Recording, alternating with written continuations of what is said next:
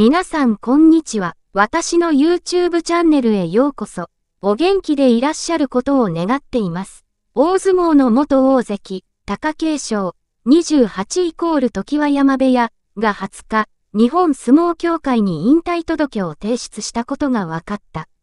師匠の時は山親方、元小結、高見杉が明らかにした。また、年寄り、港川を襲名したと相撲協会が発表した。5年ぶりに関脇に転落した今場所は、初日から2連敗して首の痛みで3日目から休場。10勝以上での大関復帰は果たせなかった。休場中に師匠の時は山親方、元小結、高見杉、と話し合いを重ね、決断に至った。大関在位30場所、幕内優勝回数は、歴代大関では海王、現浅香山親方の5回に次いで2番目に多い4回。決定戦で敗れた優勝同点も3回あった。一方で両膝、首、大胸筋など度重なる怪我の影響で角番を計9度も経験。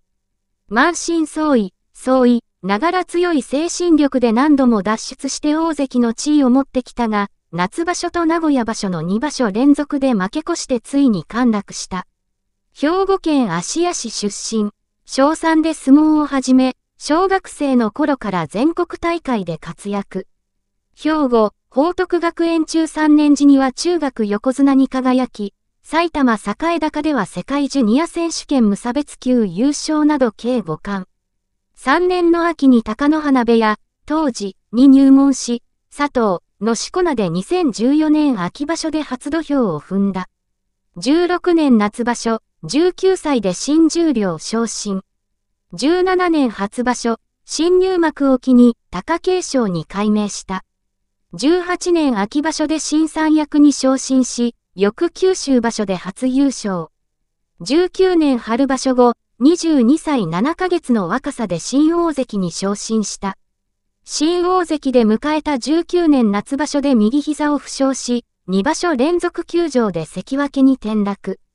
1場所で復帰し、そこから約5年間大関の地位を守った。その間に3度の優勝を果たし、何度も綱取りに挑んだが番付の頂点には届かなかった。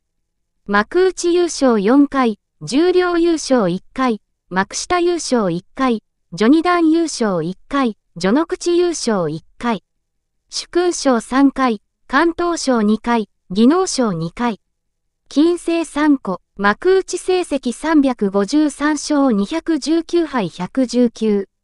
通算成績441勝254敗119。28歳1ヶ月での引退は、平成以降に昇進した大関、横綱では最年少。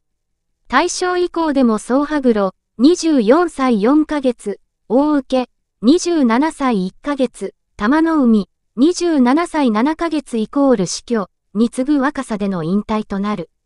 皆さん、今日の動画は以上です。ご視聴ありがとうございました。感想はコメント欄に書いてください。次の動画でお会いしましょう。お体に気をつけて、さようなら。